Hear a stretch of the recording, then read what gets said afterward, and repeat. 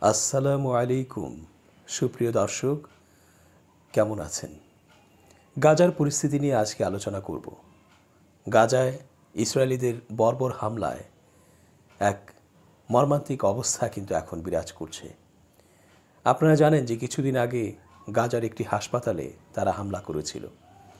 হামলা করে পাঁচশোয়ের বেশি মানুষকে হত্যা করেছিল। সেখানকার আইসিইউতে থাকা শিশু, নারী, বৃদ্ধ, এছাড়া হাসপাতালে অন্যান্য যে রোগীরা আছে, এই অবস্থায় তারা হাসপাতালে রকেট হামলা চালিয়েছে। এবং এই রকেট হামলা চালিয়ে তারা কিন্তু হাসপাতালটিকে একদম গুড়িয়ে দিয়েছে। কত লাশ আর রক্তের বন্যা যে সেখানে প্রবাহিত হয়েছে, তা আপনারা বিভিন্ন ভিডিও পোর্টালে দেখেছেন। নিউজে দেখেছেন। একইভাবে আল শিফা হাসপাতালেও কিন্তু তারা হামলা চালিয়েছে এবং সেখানেও বিভিন্ন রোগীরা তারা চিকিৎসা নিচ্ছিলেন এবং অনেকে আশ্রয়ের খোঁজে গিয়েছিলেন যে হাসপাতাল তো অন্তত নিরাপদ জায়গা যেখানে আশ্রয় নেওয়া যায় এবং এখানে হয়তো কেউ কোনো অস্ত্র দিয়ে এখানে আঘাত করবে না। বা কোনো রকেট হামলা চালাবে না, অথবা কোনো এখানে অভিযান করবে না। কিন্তু যারা বর্বর, যাদের মধ্যে মানবতার বিন্দু মাত্র নেই, তারাও তো এগুলো করবেই, এগুলো তাদের কাছে কোনো বিষয় নয়। সুতরাং তাদের নিয়মিত কার্যক্রম হিসেবে তারা এগুলো করে যাচ্ছে, করে যাবে। এছাড়া আলকুজ হাসপাতাল, সেখানেও তারা হামলার জন্য সকল আয়োজন সম্পন্ন করেছে। আলকুৎসের চারপাশেই তারা হামলা চালিয়েছে বিভিন্ন ভবনে এবং আলকুৎসেও তারা হামলা চালাবে বলে হাসপাতালটি খালি করার জন্য তারা ঘোষণা দিয়েছে। এখন এমন অবস্থা যে ওই হাসপাতাল থেকে যারা আইসিইউতে আছেন, বিভিন্নভাবে খুব ক্রিটিক্যাল অবস্থায় আছেন, তাদেরকে সরিয়ে আনা খুব কঠিন। অর্থাৎ তাদের মুখে, শরীরে যে বিভিন্ন রকমের ইঞ্জেকশন অথবা নল লাগানো আছে, সেগুলো খুলে ফেললেই যন্ত্রাংশ লাগানো আছে, সেগুলো খুলে ফেলার সাথে সাথেই তারা মৃত্যুবরণ করবে, এমন একটা অবস্থা।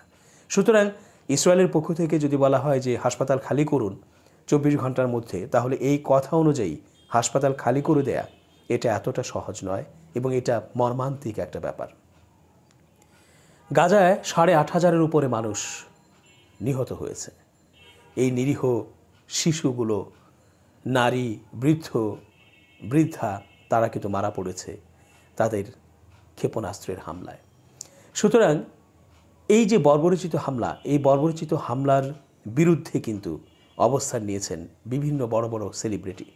যেমন অ্যাঞ্জেলিনা জোলি, তিনি হলিউডের একজন নামকরা অভিনেত্রী। এছাড়া আছেন সানিয়া মির্জা, তিনি পাকিস্তানের টেনিস তারকা।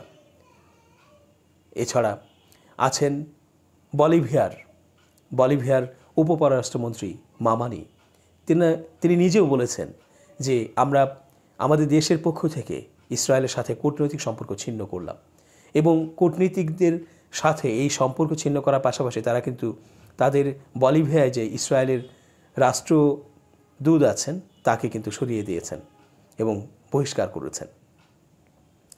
আবার নিজেদের দেশের যে রাষ্ট্রদূত আছেন, তাদেরকেও সরিয়ে তাদের দেশে নিয়ে এসেছেন। এছাড়া খোদ, আপনারা জানেন যে খোদ আজকের খবর, একদম তাজা খবর, যে খোদ জাতিসংঘের মানবাধিকার বিষয়ক প্রতিনিধি, তিনি একজন আমেরিকান, তিনি তার ঘৃণা পোষণ করে তার অবস্থান থেকে পদত্যাগ করেছেন। তিনি বলেছেন যে যুক্তরাষ্ট্র, যুক্তরাজ্য, এই যে ইসরায়েলিদের পক্ষে অবস্থান নিয়ে গোলা বারুদ, অস্ত্র, মিসাইল, রকেট, নানা রকমের ক্ষেপণাস্ত্র দিয়ে হেল্প করছে অর্থ দিয়ে হেল্প করছে।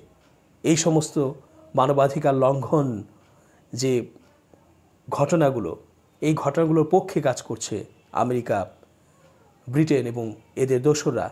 সুতরাং এর প্রতি ঘৃণা জানিয়ে, এর প্রতি প্রতিবাদ জানিয়ে সেই প্রতিনিধি কিন্তু পদত্যাগ করেছেন আজকে। তিনি বলেছেন যে এটা কোনোভাবেই সহ্য করা যায় না। গাজায় যে ন্যাক্কারজনক ঘটনা ঘটছে, সেই ঘটনার পক্ষে তিনি আছেন। সেই ঘটনার পক্ষে তার সহমর্মিতা জ্ঞাপন করছেন এবং তিনি ইসরায়েলের বিপক্ষে অবস্থান নিয়ে তীব্র ঘৃণা পোষণ করছেন ইসরায়েলিদের বিরুদ্ধে এবং ইসরায়েলিদেরকে যারা সহায়তা করছে তাদের বিরুদ্ধে। এইভাবে নানা জন কিন্তু, নানাভাবেই কিন্তু ইসরায়েলিদের বর্বরচিত হামলার বিপরীতে অবস্থান নিয়েছেন এবং তাদের যে ক্ষোভ তা তারা কিন্তু উগরে দিচ্ছেন। কিন্তু কোনোভাবে ইসরায়েলকে থামানো যাচ্ছে না।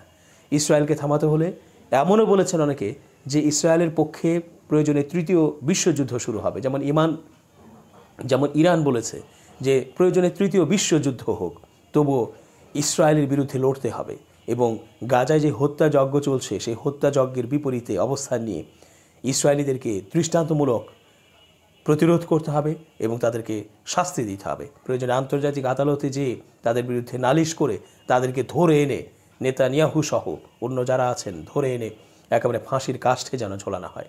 এরকম ঘটনাও কিন্তু বা এরকম আবদারও কিন্তু প্রকাশ পাচ্ছে ইরানের পক্ষ থেকে। এবং ইরান থেকে তুরস্ককে প্রস্তাবনা দেওয়া হয়েছে যে একসাথে চলুন বসি, বসে হয়তো যুদ্ধবিরতি হবে, নয়তো আমরা অস্ত্র নিয়ে সামরিক মহড়া করে আমরা একেবারে সামরিক দিক থেকে সহায়তা করে, হামাসের পক্ষে সহায়তা করে ফিলিস্তিনিদেরকে নাস্তা নাবুদ করব এবং তাদেরকে উচিত শিক্ষা দেব।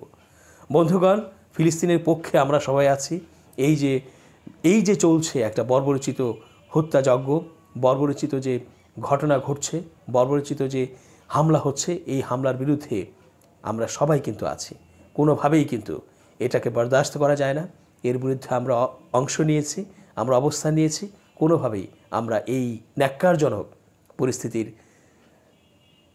এই পরিস্থিতিটাকে আমরা কখনো গ্রহণ করতে পারি না এবং এর বিপরীতে আমরা অবস্থান নিয়ে আমরা ইসরায়েলিদের বিরুদ্ধে আমরা লড়ব এবং আমরা সর্বাত্মকভাবে, সমন্বিতভাবে ইসরায়েলিদেরকে দমাবো এবং তাদেরকে আমরা নিশ্চিহ্ন করব।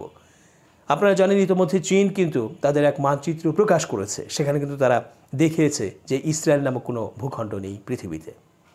চীন ঠিক কাজটি করেছে। চীন, ইরান, এরা কিন্তু একেবারে প্রকাশ করে তারা কিন্তু মুখ খুলে বলছে, আমেরিকার বিরুদ্ধে তারা আছে, তারা ইসরায়েলের বিরুদ্ধে তারা আছে। সুতরাং এই যে ইসরায়েলিদের বিরুদ্ধে থাকার যে একটা বুকের সাহস, সেই সাহসটি কিন্তু দেখাতে হবে সবাইকেই। বন্ধুগণ, সুস্থ থাকুন, ভালো থাকুন, সতর্ক থাকুন।